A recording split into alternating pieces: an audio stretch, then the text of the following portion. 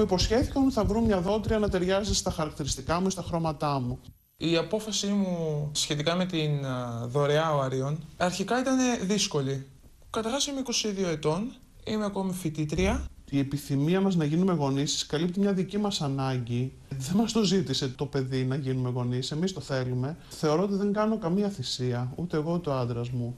Το γεγονός ότι κυκλοφορεί γενετικό υλικό δικό μου, άσχετα με ποιο άλλο ανδρικό γενετικό υλικό θα γονιμοποιηθεί, δεν πάβει να είναι κομμάτι μου. Το μόνο που ζήτησα επίμονα είναι να είμαι υγιής. Μου είπαν ότι είναι 25 ετών, αλλοδαπή.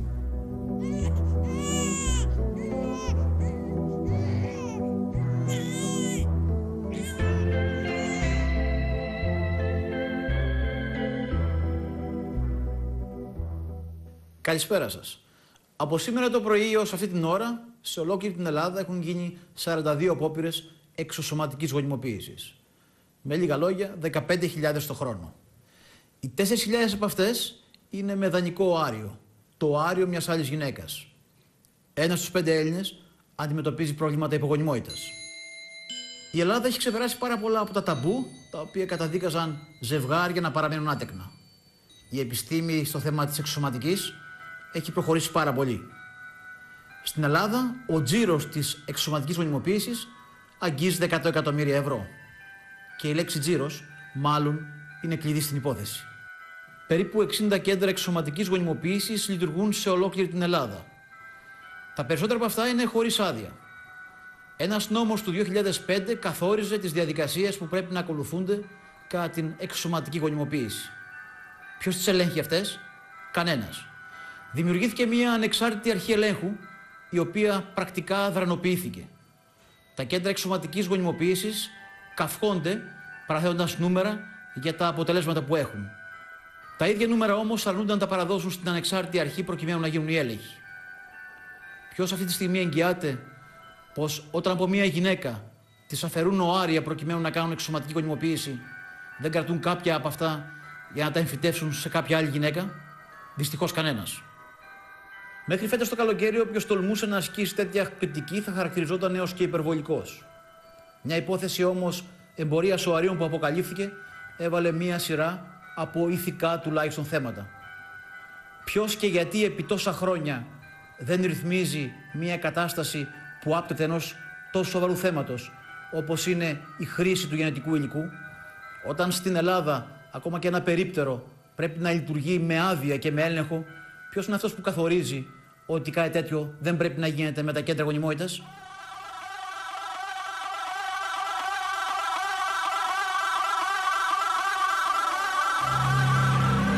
Το 1969 ο γιατρός Ρόμπερτ Έντουαρτς κατάφερε να γονιμοποιήσει ένα ανθρώπινο οάριο μέσα στο δοκιμαστικό σωλήνα. Το επιστημονικό του ερώτημα ήταν αν θα μπορούσε αυτό το γονιμοποιημένο άριο να επιστρέψει στη μήτρα. Εάν πραγματικά μπορούσε να συντηρήσει το έμβριο, πίστευε πως θα έλυνε προβλήματα υπογονιμότητας. Είχε δίκιο, αλλά χρειάστηκε μια σχεδόν δεκαετία για να φανεί.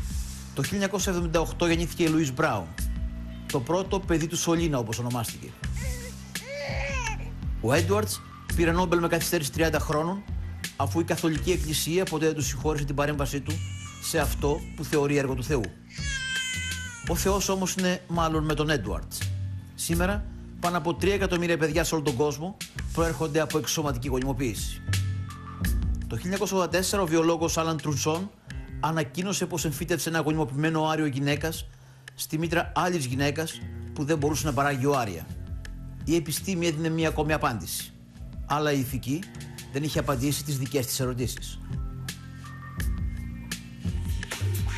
18χρονη μη καπνίστρια, λεπτή, αθλητική έξυπνη, πουλάει οάριο. Τιμή 12.000 δολάρια. Είναι μια συνηθισμένη διαφήμιση σε αμερικανικό περιοδικό. Η εμπορία οαρίων είναι μια διαδεδομένη διαδικασία σε πολλές χώρες, αν και οι νόμοι είναι πάντα απαγορευτικοί. Στις αγγελίες εφημερίδων εμφανίζονται άτεκνα ζευγάρια να ζητάνε οάρια. Όπως σε αυτήν εδώ. Το τηλέφωνο επικοινωνίας είναι ένα κινητό τηλέφωνο. Μας υποψιάζει ωστόσο πως η αγγελία είναι διατυπωμένη με νομικό τρόπο ώστε να μην δημιουργεί ευθύνες για αυτόν που την έβαλε. Σίγουρα δεν είναι μια κραυγή αγωνίας ενός άτεκνου ζευγαριού. Μια ερευνήτρια της εκπομπής παίρνει τηλέφωνο και λέει πως θέλει να προσφέρει ο Άριο. Όπως μπορείτε να διαπιστώσετε, το άτεκνο ζευγάρι δεν υπάρχει. Πρόκειται για ένα κέντρο γονιμότητας. Παρακαλώ. Καλησπέρα. Ε, Καλησπέρα. Για μια αγγελία που είχατε βάλει στη Χρυσή Ευκαιρία παίρνω τηλέφωνο. Μάλιστα. Πόσο ετών είστε; Είμαι 24. Ωραία. Καταρχήν η αγγελία γράφει για δόρυση ωραία. Να έχετε καταλάβει περί τίνος πρόκειται. Καταρχήν εγώ είμαι με και εκπροσωπώ το ζευγάρι. Δεν έρχεσαι σε επαφή με το ίδιο το ζευγάρι, δεν το επιτρέπει ο νόμος. Ακολουθείται λοιπόν μια θεραπεία εξωσωματικής, η οποία είναι οι ενέσεις που γίνονται στην εξωσωματική για 10 με 12 ημέρες, που είναι μικρές ποσότητες ορμονών. Αυτό δεν βλάπτει την υγεία σας, αλλά κάνει τα οάρια σας να παράγονται λίγο περισσότερα. Δηλαδή, έχουμε χιλιάδες οάρια κάθε γυναίκας, στο φυσιολογικό κύκλο βγαίνει ένα, με τις ενέσεις βγαίνουν γύρω στα 10-12. Οπότε για να μπορέσουμε να τα δωρήσουμε στη γυναίκα και να έχει μια καλή ευκαιρία, χρειαζόμαστε 10 με 12 οάρια που περίπου παράγονται με τις ενέσεις. Αυτό λοιπόν είναι μια διαδικασία που πρέπει να κάνετε κάθε μέρα μια ένεση, άρα τρυπ- τρυπάτε την κοιλίδα κάθε μέρα. Και για να πάρουμε τα οάρια πρέπει να κινηθείτε στο χειρουργείο με μια ελαφρύ ανάρκωση. Όταν ξυπνήσετε μετά από 10 λεπτά και ένα τέταρτο, νιώθετε έναν έντονο πόνο περίοδο στη δουλειά, ο οποίος φυσικά καλύπτεται με παυσίπονο. Θέλω να πω ότι δεν είναι μια τελείως απλή διαδικασία. Στη δική σας υγεία, αν το κάνετε μία-δύο φορές στη ζωή σας, δεν θα έχει καμία απολύτως επιπλοκή. Δεν θα κάνουμε προσπάθεια για δόρυση ορίων 5 και 6 φορές. Μια υγιή λοιπόν κοπέλα που θέλει να δωρήσει, τη συμβουλεύουμε να το κάνει μία με δύο φορές στη ζωή της. Έτσι ώστε να μην έχει ποτέ μα κανένα πρόβλημα με τη δική της υγεία. Η διαδικασία διαρκεί περίπου δύο εβδομάδες. Εσάς ποια είναι τα κίνητρά σας, είναι οικονομικοί λόγοι, θέλετε να βοηθήσετε, έχετε ζευγάρι στο μυαλό σας που δεν κάνουν παιδιά και έχετε ευαισθητοποιηθεί; Ποιοι είναι οι λόγοι που θέλετε να κάνετε δόρυση; Ε, Κυρίως οικονομικοί λόγοι. Είμαι φοιτήτρια. Οπότε να σας ενημερώσω λοιπόν και για τη θεραπεία και τα χρήματα ότι ο νόμος προβλέπει για τα έξοδα μετακίνησή σας για την ε, απώλεια της εργασίας σας όσο θα βρίσκεστε εδώ, η αμοιβή σας να είναι από το ζευγάρι, χωρίς βεβαίως να σας έχει δει το ίδιο, να σα λαβεί ο γιατρός, δηλαδή από εμάς παίρνετε τα χρήματα, που τα οποία τα δίνει το ζευγάρι και τα οποία είναι 1200 ευρώ. Η θεραπεία μεν κρατάει λίγες μέρες, δηλαδή τα χρήματα είναι πολύ καλά για τις ημέρες που παίρνετε, όμως πρέπει να συνυπολογίσετε ότι θα κάνετε ενέσει κάθε μέρα, ότι τα χρήματα θα τα πάρετε την τελευταία ημέρα που θα δώσετε τα οάρια. Οπότε, αν δεν κάνετε σωστά τις ενέσει, θα πρέπει να διακοπεί η θεραπεία. Οπότε το ζευγάρι δεν θα δώσει τα χρήματα και δεν είναι κάτι το οποίο μπορείτε να κάνετε κάθε μήνα. Δηλαδή, δεν είναι λύση αυτό οικονομική, έτσι. Ότι 254 γυναίκες ήρθαν και ζητήσαν ότι θέλουν να γίνουν δότριες. Περισσότερο από το 50% αυξάνονται οι Ελληνίδες τέλος πάντων.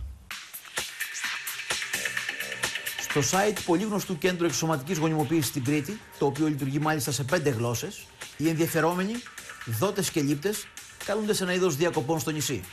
Τους προτείνονται ξενοδοχεία, εκδρομές και βέβαια η κριτική διατροφή. Ιατρικός τουρισμός πολυτελείας με βίλες και ξενοδοχεία πέντε αστέρων. Το ερώτημα βεβαίως είναι που βρίσκονται τόσα πολλά οάρια από εθελόντρια στην Ελλάδα ώστε να καλύπτεται η ζήτηση και στη χώρα αλλά και ενδιαφερόμενων από το εξωτερικό. 60 κέντρα γονιμότητας λειτουργούν έχοντας πολύγλωσσα site, ακόμα και στα τουρκικά, που προσφέρουν αφιδώς οάρια και γονιμότητα. Πώς όλα αυτά, ας ανοίξουμε το κουτί της Πανδώρας.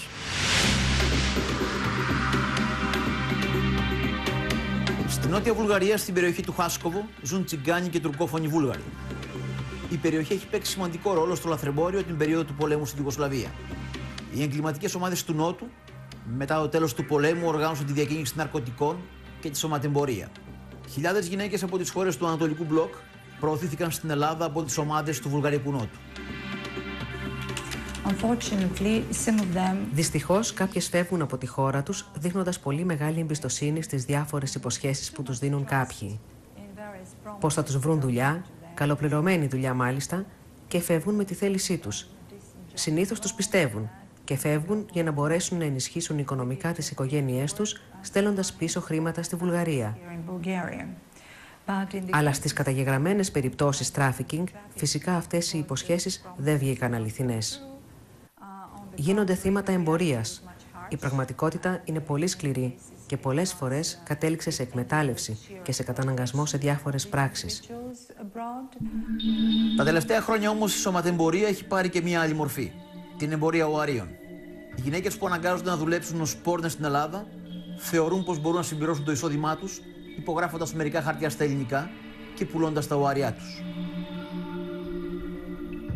Το χειρότερο είναι πως κανένας δεν μπορεί να πει με βεβαιότητα ποια είναι η έκταση του κυκλώματος εμπορίας οαρίων από τη Βουλγαρία. Οι γυναίκες που χρησιμοποιήθηκαν από το κύκλωμα έχουν υποστεί στη ζωή τους τέτοια βία και εξαθλίωση που είναι μάλλον πιθανό να μην θεωρούν ότι χειρότερα έχουν πάθει την αφαίρεση των οαρίων τους. Χειριστές αυτού του εμπορίου δεν είναι βεβαίως κάποιοι μαφιόζοι. Δεν θα μπορούσαν άλλωστε. Είναι μεγαλογιατροί και θαυματοποιοί της γονιμότητας. Η Μίρα Μπενάτοβα είναι δημοσιογράφος του BTV της βουλγαρικής τηλεόρασης.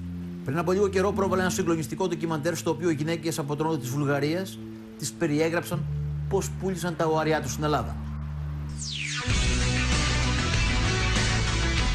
Разследване на екипа ни разкри, че българки, украинки и рускини са основен доставчик на генетичен материал за една от големите клиники в Солун. Там граждани на цяла Европа, предимно французи, датчани, англичани, италианци, българи и гърци, купуват донорски материал, защото програмите са отворени за чужденци. Всичко е пари.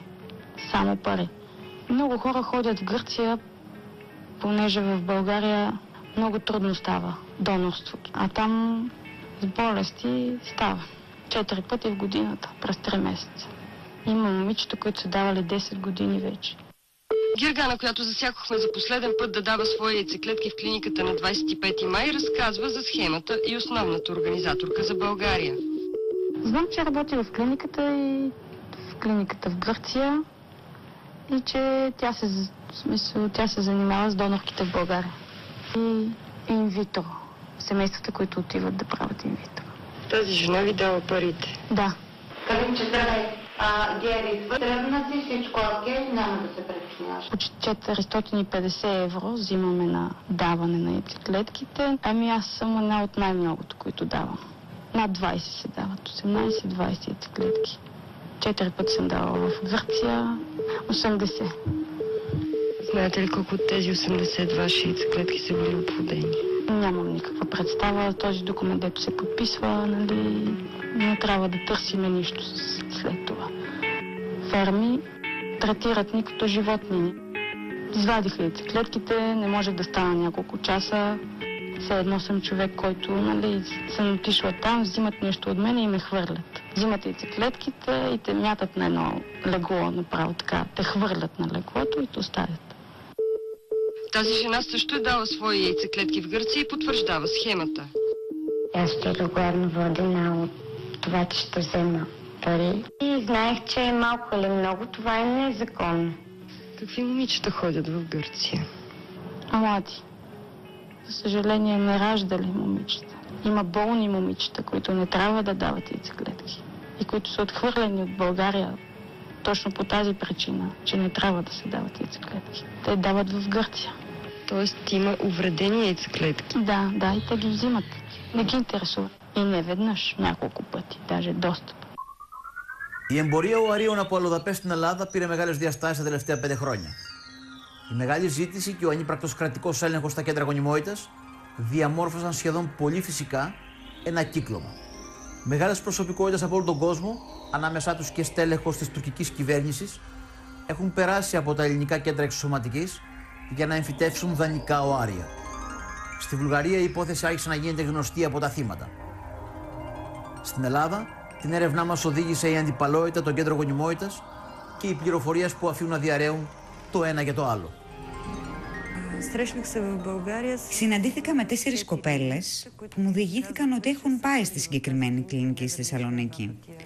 Όχι μία, όχι δύο, αλλά πάνω από δέκα φορές τα τελευταία χρόνια. Αυτό γίνεται για το λόγο ότι η ελληνική νομοθεσία επιτρέπει σε ξένους πολίτες να συμμετέχουν σε τέτοια προγράμματα δωρεάς γενετικού υλικού, όπως και ότι η Ελλάδα συγκεντρώνει το ενδιαφέρον πολλών ζευγαριών με προβλήματα αναπαραγωγής από όλα τα ευρωπαϊκά κράτη. Στην ουσία οι άνθρωποι που χρησιμοποιούν τις υπηρεσίες αυτής της κλινικής, μάλλον ισχύει και για άλλες κλινικές, δεν είναι σε θέση να γνωρίζουν την προέλευση αυτού του γενετικού υλικού, πληρώνοντας πάρα πολλά χρήματα και στην ουσία δεν γνωρίζουν τι είναι αυτό που παίρνουν. Δεν ξέρουν δηλαδή αν τα παιδιά που αγοράζουν με αυτόν τον τρόπο, πόσα αδέλφια και αδελφές έχουν στην Ευρώπη, δεν ξέρουν αν είναι υγιεί. Άρα μιλάμε για ένα σύγχρονο τρόπο αγοράς παιδιών. Για τις κοπέλες δωρητές, κανένας δεν μπαίνει στον κόπο να παρακολουθήσει την κατάστασή τους. Αυτές δίνουν τρεις με τέσσερις φορές ετησίως, από 20 οάρια την κάθε φορά, το οποίο είναι παράλογο. Χτυπώντας τους ενέσεις με ορμόνες για μεγαλύτερη αναπαραγωγή οαρίων με τρόπο εντελώς εγκληματικό σύμφωνα με τους ειδικούς. Αυτό σημαίνει ότι το χρόνο οι κοπέλες δίνουν από 80 έως 100 οάρια με αποτέλεσμα να κινδυνεύουν να μην έχουν ποτέ δικά τους παιδιά όπως και να αναπτύξουν κάποια μορφή καρκίνου από τις ενέσεις ορμονών. Στις ακριβές και πολυδιαφημισμένες για την αποτελεσματικότητά τους κλινικές Αθήνας όλα μοιάζουν νόμιμα. Οι γιατροί δείχνουν να κάνουν θαύματα. Το θαύμα όμως είναι μάλλον άλλο. Ένα έγκλημα το οποίο βαφτίζεται προσφορά ζωής. Ο νόμος 3305 του 2005 σχετικά με την υποβοηθούμενη αναπαραγωγή ορίζει πως στην Ελλάδα υπάρχει μόνο δωρεά και όχι αγοραπολισία οαρίων. Προβλέπει ωστόσο πως η εθελόντρια, η δότρια οαρίων, μπορεί να πάρει ένα ποσό για τις μετακινήσεις της και τις ημέρες εργασίας που θα χάσει. Το ποσό αυτό είναι της τάξης των 1.200 ευρώ. Αυτό είναι και το παράθυρο στο νόμο. Για μια κοπέλα από τη Βουλγαρία, η οποία εκδίδεται για μερικά ευρώ, το ποσό αυτό είναι τεράστιο. Κάθε πληρωμή κάτω από 1.200 ευρώ μπορεί να εμφανίζεται λοιπόν ως συνόμιμη αποζημίωση. Η Ελλάδα έχει γίνει ένας παράδεισος για όσους θέλουν να προμηθευτούν οάρια και για όσους θέλουν να τα εμπορευτούν. Εκεί, στην κλινική, δουλεύει μια Βουλγάρα και μετά από το αποκαλυπτικό ρεπορτάζ που κάναμε, έγινε γνωστό ότι η κατεξοχήν πηγή γενετικού υλικού για την κλινική αυτή είναι κοπέλες από τη Βουλγαρία. Το αποτέλεσμα ήταν να σταματήσουν Βουλγάρες δότριες να επισκέπτονται τη συγκεκριμένη κλινική. Αλλά δυστυχώς, το ότι έχουν σταματήσει έστω και προσωρινά να πηγαίνουν κοπέλες από τη Βουλγαρία, δεν σημαίνει ότι κάτι έχει αλλάξει στην κλινική από όσο γνωρίζω. Αυτό το εμπόριο παραμένει το πιο γρήγορα αναπτυσσόμενο και δεν μπορεί να συγκριθεί με τα ναρκωτικά όπως και με την πώληση όπλων. Στην ουσία είναι το πλέον κερδοφόρο, παράνομο, αλλά νόμιμο εμπόριο και κανείς λόγω συμφερόντων δεν κάνει κάτι για να το σταματήσει. Албена живее в Солун от 12 години, събира донорки от Софийска област. Половината от тях току-що са навършили пълнолетие и срещу 450 евро бълват свой генетичен материал на всеки 3 месеца в Гърция. Албена е официалният координатор на клиниката за българските клиенти и донори. За българите донорите отговаря аз. Трябва да разчиташ на нашата дума. Донорите взимат 450 евро, а техният генетичен материал се продава официално на две семейства, които плащат за това малко под 8000 евро и не знаят какво получават на среща. Аз не бях подложена на някакви прегледи. С а, дезодоранта си, с парфюма си, тя напълска памук, взе ми кръв, която сложи в лед. Нямаше стерилни неща, просто ето така. Албена. Албена. Вкъщи. Не в къщи, тя беше в хотел. Срещаме се с Албена като семейство, което иска да ползва програма с донорска яйцеклетка. Казваме, че жената, макар и млада, е с изчерпан яйчников резерв и разговора тръгва. Питаме за донорите, искаме българка и ребром поставяме въпроса колко пъти се ползва един донор и можем ли да сме сигурни в здравето му. За момиче се записват две семейства от различна националност. Спираме донорки, които дават по-малко от 9 клетки. При 8 бременности се спира. Като ми казваш, искам българка, искам руски. Но в рамките на нормално. Не, три висши образования, защото с три висши жената няма да дойде. Бедно момиче ще го направи. Но с три висши, която си има работа, няма да дойде. Да, аз отидох, потикнати от а, финансови затруднения, сме принудени. Страшно е, няма какво да кажа.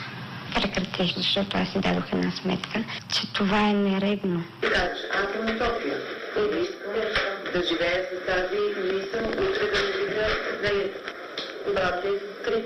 Брати и сестри. Аз не мога да ти кажа сега.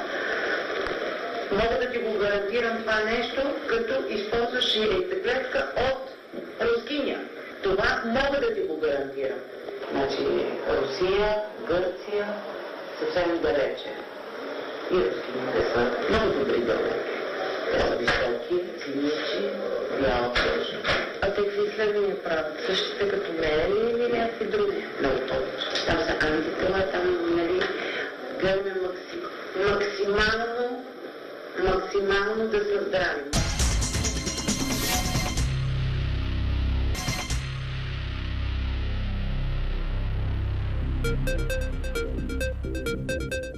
Περασμένο Ιούλιο, ένας από τους πιο γνωστούς γιατρούς στην εξωσωματική γονιμοποίηση, από αυτούς που οι πελάτες του τον είχαν χαρακτηρίσει γκουρού, συνελήφθη από την αστυνομία μετά από καταγγελίες μιας Βουλγάρας που του πούλησε τα ουάριά της. Η είδηση ήταν σοκαριστική, αλλά μάλλον όχι για αυτούς που ξέρουν καλά το χώρο της εξωσωματικής και των κέντρων γονιμότητας. Προς τα τέλη Ιουλίου του 2010 ήρθε μια κοπέλα στην υπηρεσία μας, η οποία μας έδωσε μια κατάθεση στην εποχή εκείνη που ανέφερε διάφορα περιστατικά που είχαν σχέση με σωματεμπορία για μια ομάδα συμπατριωτών της, η οποία την είχαν φέρει στη χώρα μας με σκοπό να, βέβαια, για να δουλέψει και τελικά την εξωθούσαν στην πορνεία στους κεντρικούς δρόμους της Αθήνας. Μέσα σε αυτή την ε, κατάθεσή της μας είπε επίσης ότι την οδήγησαν σε μια κλινική στα βόρεια προάστια, όπου εκεί συναντήθηκε με κάποιους γιατρούς και αφού της έγιναν κάποιες εξετάσεις, της δόθηκαν κάποιες ενέσεις, τις οποίες αφού ακολούθησε μια αγωγή όπως τις είχαν περιγράψει οι γιατροί, όχι προς αυτή βέβαια, αλλά προς αυτούς που την οδήγησαν εκεί, ε, στη συνέχεια, μετά από περίπου ένα μήνα, την ξανοδήγησαν στην κλινική όπου της αφαίρεσαν από ό,τι θυμόταν ίδια περίπου στα 8 άρια. Η κοπέλα, η Τόνια, ήταν μία από αυτές που το κύκλωμα της Νότιας Βουλγαρίας είχε προωθήσει στην Ελλάδα. Με το να δίνει τα οάρια τη συμπλήρωνε κάπως το εισόδημα. Λιγότερο υπόδινα. Αν πρέπει να πας με 15 άντρες την ημέρα, το να δεχθείς να πουλήσεις τα οάρια σου είναι σχεδόν μια προσφορά εξ ουρανού. Μια άλλη Βουλγάρα, η Άντζελα, ήταν ο σύνδεσμος με το γνωστό κέντρο εξωσωματική γονιμοποίησης. Οδηγούσε τις πόρνες στο γιατρό όπου έδιναν τα οάρια τους. Στη συνέχεια, αυτά τα οάρια εμφυτεύονταν σε άλλες γυναίκες με τις διαβεβαιώσεις πως πρόκειται για γενετικό υλικό ελεγμένο από υγιή δότρια. Σίγουρα όχι από τσιγκάνα της Βουλγαρίας, πόρνη που προσπάθησε να εξασφαλίσει ένα εισόδημα. Η αλυσίδα του κυκλώματος έσπασε μάλλον τυχαία, αποδεικνύοντας πως το αποστηρωμένο και πολυτελές περιβάλλον πολλών κλινικών αναπαραγωγής δεν είναι απαραίτητα και ηθικό. Ο δημοσιογράφος της τηλεόρασης της Βουλγαρίας, Ιβάν Γεωργίεφ, ειδοποιήθηκε από κάποιον συμπατριώτη του στην Αθήνα πως χρειάζεται βοήθεια για να ξεφύγει μαζί με την Τόνια από τα χέρια του κυκλώματος. Той се е запознал с нея на улицата, защото той работи в Атина. Τη γνώρισε στο δρόμο όπου η κοπέλα δούλευε έκανε πιάτσα και στη συνέχεια έγιναν φίλοι και του διηγήθηκε την ιστορία της. Αυτό τη λυπήθηκε και στην κυριολεξία την απήγαγε από τα κυκλώματα αυτά. Η επικοινωνία μεταξύ τους γινόταν μέσω μιας άλλης Βουλγάρας, η οποία δούλευε ως πολίτρια λαχανικών. Επειδή απαγορευόταν στις Βουλγάρες πόρνες να έρχονται σε επικοινωνία με άλλους Βούλγαρους. Η μεγάλη επιθυμία του Μύροσλαβ, ο φίλος της Τόνι δηλαδή, ήταν να πάμε εκεί και να αναδείξουμε αυτή την ιστορία. Ο Μύροσλαβ με τα λίγα λεφτά που έβγαζε αγόραζε τα απαραίτητα πράγματα για τις ανάγκες τους. Η κοπέλα δεν έπρεπε να βγαίνει σε καμιά περίπτωση από το διαμέρισμα. Αυτό που μου έμεινε πολύ έντονα στη μνήμη μου ήταν ότι κρατιόταν μαζί από τα χέρια, στην πόρτα του μπαλκονιού, φοβισμένοι να βγουν για να μην τους δει κανείς. Μπροστά στις κάμερες, η κοπέλα μας διηγήθηκε μια τρομακτική ιστορία για το πώς σε διάστημα κάποιων μηνών την ανάγκαζαν να πουλήσει το κορμί της στους δρόμους της Ομόνιας για περίπου 30 ευρώ. Για το πώς το κύκλωμα που αποτελούνταν από Βούλγαρους Ρωμά την ανάγκαζε να πουλά το κορμί της σε δεκάδε πελάτες κάθε μέρα διαφόρων εθνικοτήτων. Έτρωγε, κοιμόταν και έπινε νερό όποτε αυτοί τη έδιναν, δηλαδή όποτε το κρίναν απαραίτητο οι ιδιοκτήτες της. Εκτός από όλα αυτά που μας διηγήθηκε σε σχέση με την πορνεία, Μας είπε επίσης για το κύκλωμα που την εκμεταλλεύονταν πω είχαν βρει και άλλο τρόπο για να βγάλουν λεφτά, όπου με τη μορφή πρότασης της είπαν ότι πρέπει να πάει να δώσει ιοάρια σε μια κλινική στην Αθήνα. Την πήγαν στην κλινική. Εκεί ένας γιατρός την εξέτασε. Είχαν προετοιμάσει την κοπέλα να δηλώσει πως δεν ξέρει ελληνικά ή αγγλικά. Η συμφωνία των ανθρώπων με τον γιατρό της κλινικής ήταν περίπου 1000 ευρώ ως αμοιβή για αυτό. Της έκαναν κάποιες ενέσεις, υποθέτω με ορμόνες, γιατί και η ίδια δεν ήξερε τι ακριβώς γίνεται. Πονούσε όμως πολύ και δεν πήρε καθόλου χρήματα. Επίσης, διαπίστωσε ότι οι άνθρωποι γνώριζαν τον γιατρό και στην ουσία ο γιατρός αυτούς πλήρωσε για την δωρεά αερίων. Βρήκαμε την Τόνια στην Νότια Βουλγαρία. Μας διηγήθηκε την ιστορία της. Δύο φορές δέχτηκε να μας μιλήσει στην κάμερα και εισάριθμε στο μετάνιωσε. Η κατάθεσή της στην ελληνική αστυνομία είναι συγκλονιστική. Στις 15 Μαου με μετέφεραν σε μονάδα υποβοηθούμενη αναπαραγωγής που βρίσκεται στο Μαρούσι και αφού μου έκανε εξετάσεις ένας γιατρός, έδωσε στην Άντζελα που με συνόδευσε ένα κουτί με ενέσεις και φύγαμε. Τις επόμενες 12 ημέρες η Άντζελα μου έκανε δύο ενέσεις την ημέρα στα πόδια. Στις 29 Μαου μου αφαίρεσαν οάρια. Όταν τελειώσαμε, κατεβήκαμε στο αυτοκίνητο, όπου μας περίμεναν οι μαστροποί. Η Άντζελα έφερε 1000 ευρώ. Εμένα μου έδωσαν 100, λέγοντας πως είναι το μερίδιό μου. Η υπόθεση της Τόνιας δεν ήταν η μοναδική. Όταν η ελληνική αστυνομία κατάφερε να εντοπίσει το μευτήριο και έκανε έφοδο, βρήκε άλλες δύο κοπέλες που είχαν οδηγηθεί για να δώσουν τα οάρια τους. Είχαμε εντοπίσει βέβαια την κλινική, όπου τις είχαν αφαιρέσει τα οάρια και κατά τη διάρκεια που αστυνομική της υπηρεσίας μας ήταν στη συγκεκριμένη κλινική προκειμένου να ελέγξουν αν πράγματι έχουν συμβεί αυτά τα περιστατικά τα οποία κατήγγειλε η κοπέλα, εμφανίστηκαν και άλλες δύο κοπέλες εκεί, οι οποίες μάλιστα πήγαιναν για τον ίδιο σκοπό.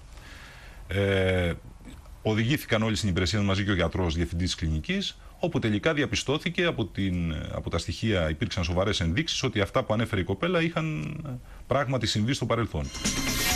Οι γυναίκες από την νότια κυρίως Βουλγαρία, όπου δρούσε το κύκλωμα, υποχρεώνονταν επί 12 ημέρες να κάνουν ενέσεις για την αποτελεσματική παραγωγή πολλών οαρίων. Η διαδικασία αυτή για μια γυναίκα η οποία δεν έχει πρόβλημα ορυξίας, εκτός από το ότι είναι επώδυνη, έχει και πάρα πολύ σοβαρές επιπτώσεις. Ο γιατρός μετά την απολογία του στον εισαγγελέα φέθηκε ελεύθερος. Είναι πολύ πιθανόν να μην καταδικαστεί καν. Το ποσό των χιλίων ευρώ, που όπως κατέθεσε η Τόνια δόθηκε για τα οάρια, στα δικαστήρια μπορεί να χαρακτηριστεί ως η νόμιμη αποζημίωση. Η επιστημονική έγκλη και η φήμη που έχει η Ελλάδα στις εξωσωματικές καλύπτουν ως σήμερα τι γίνεται πίσω από τους τοίχου των πολυτελών κλινικών. Το χειρότερο, δεν υπάρχει κανείς για να το ελέγξει. Στα ξένα περιοδικά, η Ελλάδα περιγράφεται ως η χώρα με τα πολλά οάρια. Κάτι σαν κότα με τα χρυσά αυγά της εξωσωματικής. Πού βρίσκονται αυτά, ποιος ελέγχει αν πραγματικά ελέγχεται το γενετικό υλικό; Ο νόμος του 2005 που όριζε τον τρόπο λειτουργίας του συστήματος εξωματική αναπαραγωγής δεν έχει κανέναν ελεγκτικό μηχανισμό. Δημιουργήθηκε ανεξάρτητη αρχή για την υποβοηθούμενη αναπαραγωγή. Δεν λειτουργήσε ποτέ. Δεν απέκτησε ούτε καν υπαλλήλους. Είναι ένα θέμα ελληνικής γραφειοκρατίας; Ή μια σιωπηλή προσφορά στην κερδοφόρα αυθαιρεσία των κλινικών εξωματική.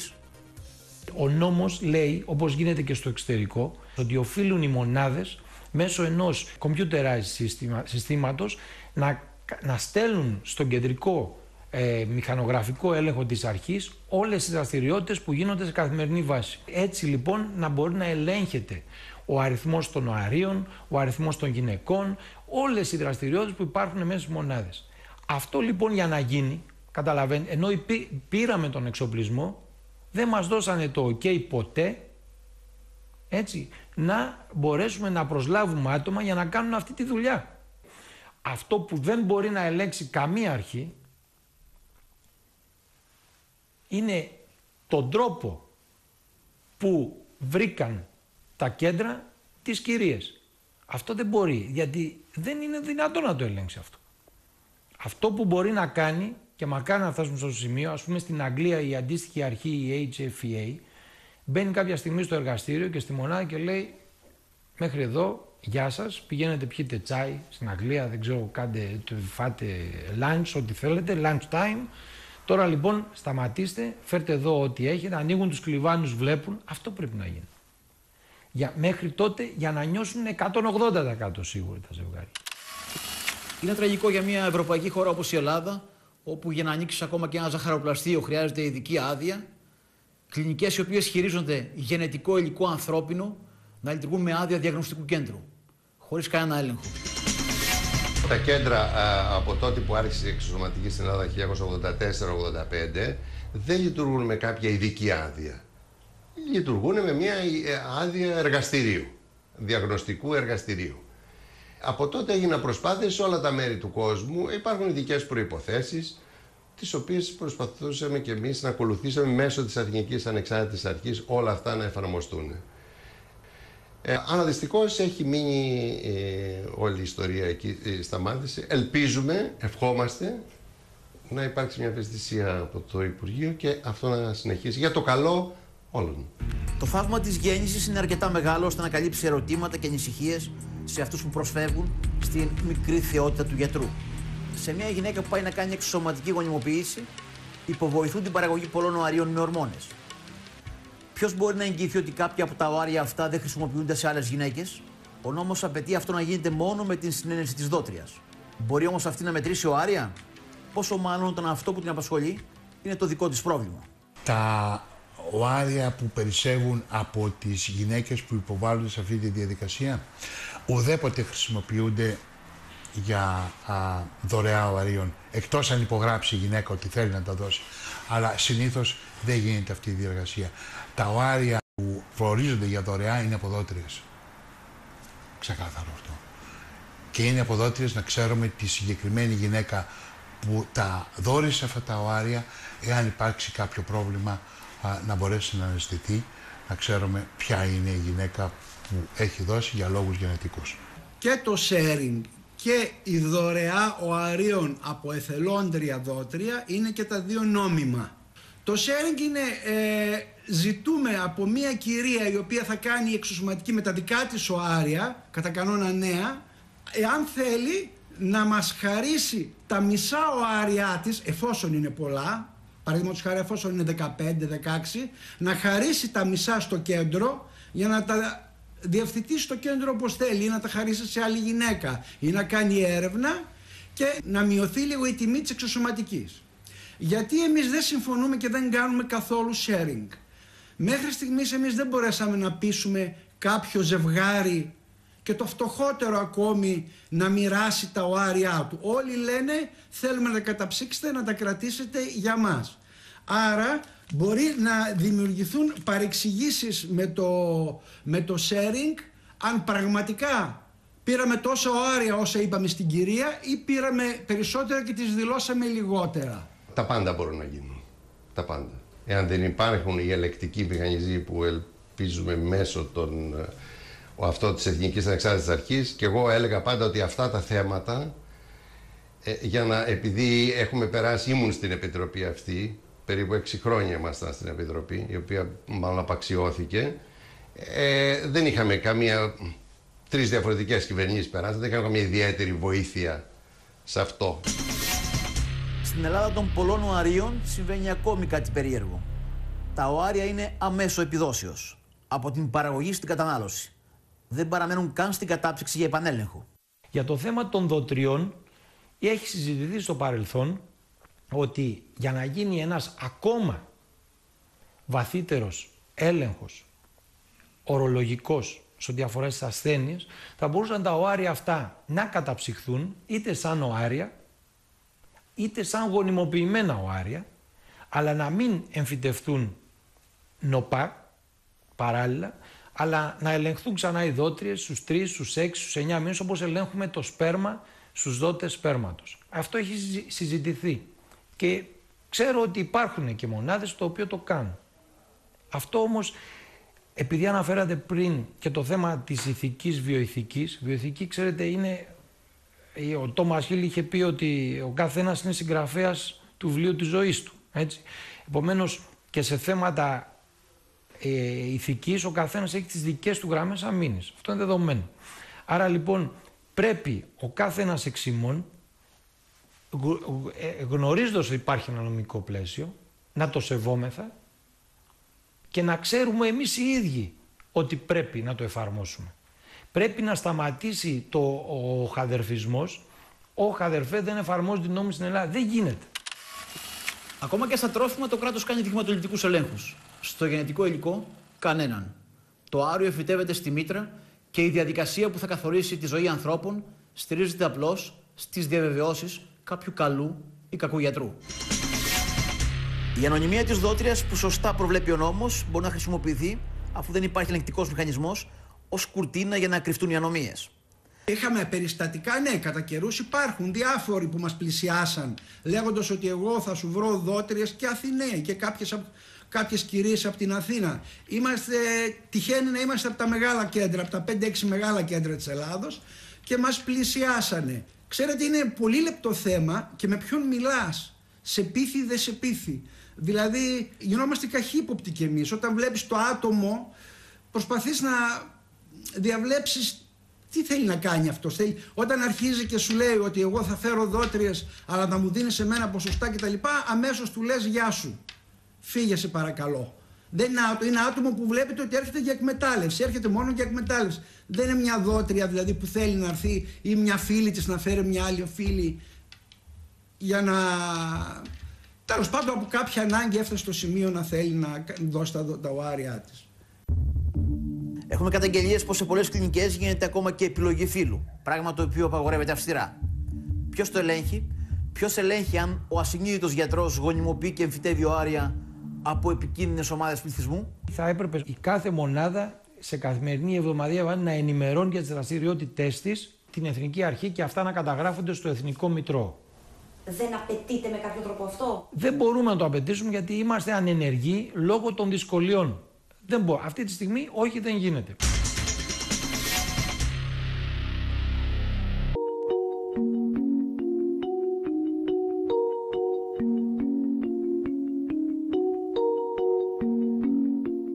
Μαρία είναι έγκυος τον 8 μήνα και ευτυχισμένη που κατάφερε να βρει ο Άριο μιας άλλης γυναίκας για να γονιμοποιηθεί το όνειρο και η χαρά της. Η διαδικασία έγινε σε ένα από τα καλύτερα κέντρα γονιμότητας. Εύχεται απλώς έτσι να είναι στην πραγματικότητα. Οι βασικές μου αναστολές ήταν ότι φοβόμουν για την υγεία, την σωματική και ψυχολογική υγεία της δότριας. Ο βασικός μου φόβος. Δευτερεύοντες φόβοι θα μπορούσαμε να πούμε το ότι δεν ήταν δικό μου υλικό, το ότι δεν θα μου έμοιαζε δεν μου ήταν και τόσο τρομερό. Είπε ότι θα έμοιαζε στον άντρα μου και πάντα αυτό σκεφτόμουν, ακόμα και αν ήταν ένα παιδί συλληφθέν με φυσιολογικό τρόπο, πάλι αυτό θα ήθελα. Αυτός ήταν ο βασικός μου φόβος. Ναι, είναι υγιής η δότρια.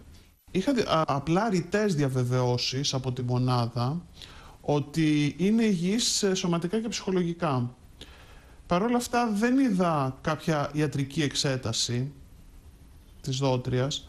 Πολύ θα το επιθυμούσα. Βέβαια ξέρω ότι ο νόμος ορίζει την ανωνυμία. Θα μπορούσα να δω λοιπόν μία εξέταση με συγκεκαλυμμένο το όνομά της.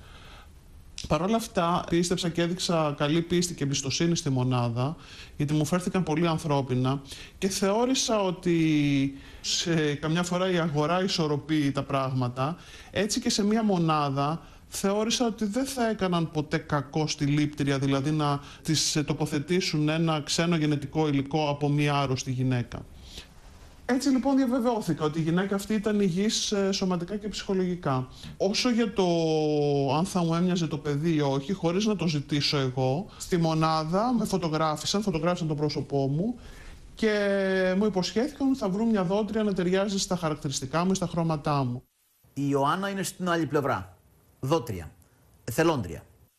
Κρύβω την ταυτότητά μου καθαρά για προσωπικούς λόγους, διότι όσο αλτουριστική και να είναι αυτή η πράξη, όσο και να είναι ευαίσθητη και συνειδητοποιημένη αυτή η πράξη, εν τούτης, η ελληνική κοινωνία δεν μπορεί να δεχθεί κάποια πράγματα.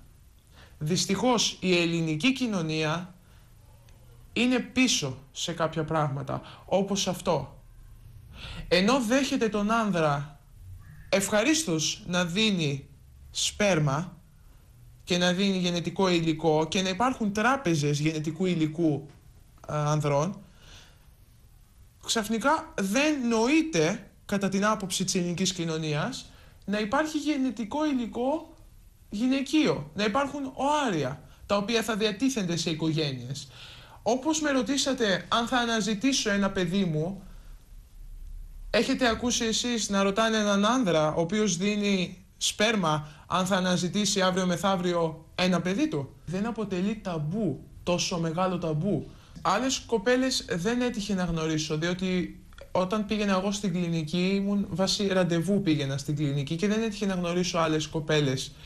Γνώρισα όμως γυναίκες δυστυχισμένες, οι οποίες έκαναν την ίδια ακριβώς διαδικασία με μένα, διότι ο σύζυγός τους δεν μπορούσε να τεκνοποιήσει και έπρεπε να δεχθούν άλλο γενετικό υλικό, ανδρικό γενετικό υλικό και έπρεπε να ακολουθήσουν την ίδια ακριβώς διαδικασία με μένα, να διπλασιάσουν ας πούμε τα οάρια τους, έτσι ώστε να μπορέσουν να έχουν μεγαλύτερες πιθανότητες να τεκνοποιήσουν. Είδα γυναίκες οι οποίες, με τις οποίες μάλλον συζητήσαμε αυτό το θέμα, σαφώς και δεν τους είπα ότι ευθαρσός ότι αυτή τη στιγμή εγώ μπαίνω στην κλινική για να δωρήσω άρια, αλλά συζητώντας το ε, έμεσα, τις είδα συγκινημένες από αυτή την πράξη, από μια τέτοια πράξη, σκεπτικές μεν, αλλά συγκινημένες. Δηλαδή, μια συγκεκριμένη κυρία μου είπε ότι εγώ θα θαύμασα, λέει, θα θαύμαζα την υπομονή μιας τέτοιας κοπέλας, διότι υποβάλλεται σε αυτή τη διαδικασία με τις ενέσιμες ορμόνες και θαυμάζω και το θάρρος της, το κοινωνικό θάρρος και την ψυχοσύνθεσή της και τη συνείδησή της. Δύο γυναίκες που μετρούν τη ζωή, η μία μέσα από τη λαχτάρα και η άλλη μέσα από την προσφορά της. Η μία μπορεί να πραγματώσει το όνειρο της άλλης. Αυτό είναι τόσο μεγαλειώδες όσο και η επιστήμη που το εξασφάλισε. Κοιτάξτε, τα ιατρικά κέντρα και οι μονάδες δεν είναι φιλανθρωπικοί οργανισμοί, είναι κερδοσκοπικοί οργανισμοί και κάνουν τη δουλειά τους. Το θέμα είναι η πολιτεία τι κάνει και πώς μας προστατεύει. Αφενός ως προς το οικονομικό μέρος, αλλά πρωτίστως ως προς το ιατρικό μέρος και το μέρος της υγείας.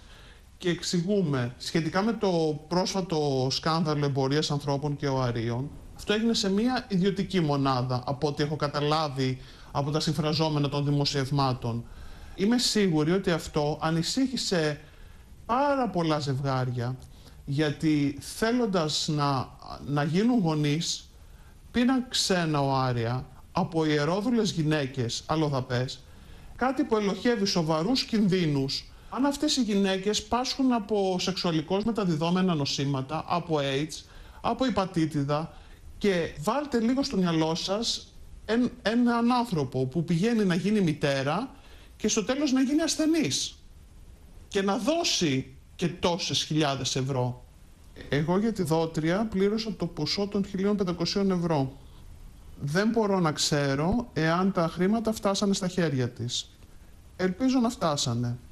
Γιατί θεωρώ ότι ως αλλοδαπή θα είναι μια οικονομικά δύναμη μετανάστρια.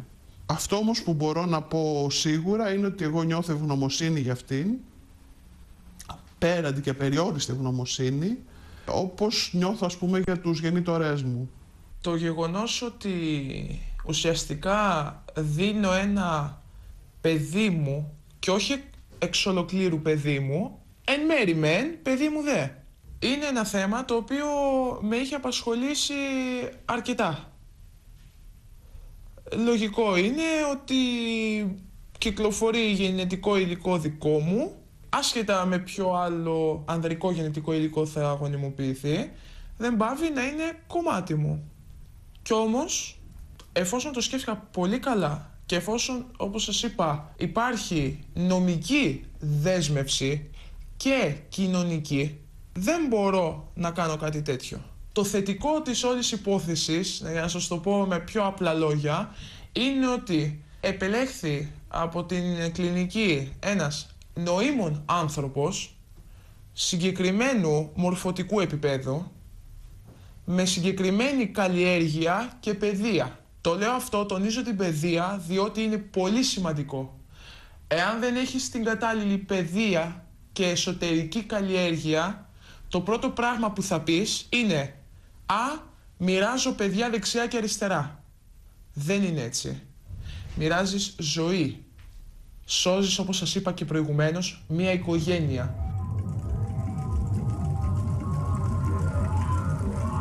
Στα κέντρα γονιμότητα στην Ελλάδα, με τα υλικά της αγωνίας, της θέλησης και της ανάγκης, πολλοί άνθρωποι καταφέρουν να φτάσουν ως εκεί που ονειρεύονται. Αυτό βέβαια δεν μπορεί να είναι άλοθη για οτιδήποτε. Όταν η επιστήμη προχωρά χωρίς την ηθική, δεν είναι απλώς ανήθικη αλλά καταστροφική. Η Ελλάδα είναι στους ιατρικούς οδηγούς ο παράδεισος των κέντρων γονιμότητας και των οαρίων. Μπορεί πραγματικά αυτό να είναι αποτέλεσμα της ικανότητας των επιστημόνων της. Ή μήπως το αποτέλεσμα μιας ελαστικής βιοειθικά αντίληψης που περιλαμβάνει κέρδη, πολιτικές συγκάλυψεις και γεννητούρια υπογόνιμων επωνύμων. 20.000 ζευγάρια πηγαίνουν κυρίως στην ε, Ισπανία. Γύρω στα 2.500 ζευγάρια, 2-2.500 πρέπει να έρχονται στην Ελλάδα. Αντίστοιχα, πολλοί Γερμανοί πάνε στην Τσεχία γιατί είναι εύκολη η πρόσβαση με το αυτοκίνητο. Οι Γάλλοι πάνε στην Νότια Γαλλία, πάρα πολλοί πάνε στην Ισπανία και κάπως έτσι κινούνται οι γυναίκες που έχουν ανάγκη για δωρεά οαρίων. Είναι εντυπωσιακό. Αν υπολογίσετε, κυρία Μπλούτσο, ότι 20.000 ζευγάρια, εκεί οι τιμές πάνε από 6 μέχρι 10.000 ευρώ την περίπτωση. Να πούμε 8.000 ευρώ. 2, 8, 16, 160 εκατομμύρια από αυτήν καθεαυτήν την πράξη την ιατρική. Το κράτος μένουν στην Ισπανία. Αν υπολογίσουμε ότι αυτά τα ζευγάρια πάνε και μια εβδομάδα, μένουν εκεί, ζουν εκεί, ταξιδεύουν, τέλος πάντων κάνουν και κάποιον τουρισμό, εξού πήρε και τον όρο ιατρικός τουρισμός, καταλαβαίνετε ότι αυτό το ποσό για το Ισπανικό κράτος πρέπει να ξεπερνάει τα 200 εκατομμύρια ευρώ το χρόνο. Αν υπολογίσουμε ότι ένα μέσο όρο 4.000 ευρώ να πληρωθεί μια δότρια, 2, 4, 8 εκατομμύρια ευρώ, 10 εκατομμύρια ευρώ μένουν και στην Ελλάδα. Υπάρχει ενδιαφέρον ε, πόσο ανεβαίνουν οι τιμές ε, της Ισπανίας. Ε, τα ελληνικά κέντρα ελπίζουν να πάρουν ένα ποσοστό, γιατί είμαστε κοντά στην Ιταλία, να πάρουν ένα ποσοστό από το τεράστιο ποσοστό αυτό που παίρνει η Ισπανία. Κοιτάξτε, ε, έχουμε όντως το θέμα του ιατρικού τουρισμού. Δεν το έχουμε μόνο εμείς, το έχει και η Ισπανία, ε, το έχει και η Τσεχία. Χώρες που ίσως έχουν ψηφίσει πιο απελευθερωμένους νόμους που επιτρέπουν τη δωρεά οαρίων. Υπάρχουν χώρες οι οποίες την απαγορεύουν. Α, υπάρχουν χώρες που απαγορεύουν το προεφητευτικό έλεγχο. Αυτό όμως νομίζω ότι ε, είναι υπέρ ε, της ε, ελληνικής νομοθεσίας και σήμερα οι νόμοι συνήθως ακολουθούν την εξέλιξη της τεχνολογίας της επιστήμης. Οι γιατροί των κέντρων γονιμότητας διαβεβαιώνουν πως υπάρχουν ελάχιστες πιθανότητες στο μέλλον να παντρευτούν για παράδειγμα δύο αδέρφια τα οποία δεν γνωρίζονται και έχουν προκύψει από δωρεά οαρίου μέσω εξωματικής γονιμοποίησης. Αυτό πραγματικά ισχύει εάν τηρούνται όλες οι προϋποθέσεις.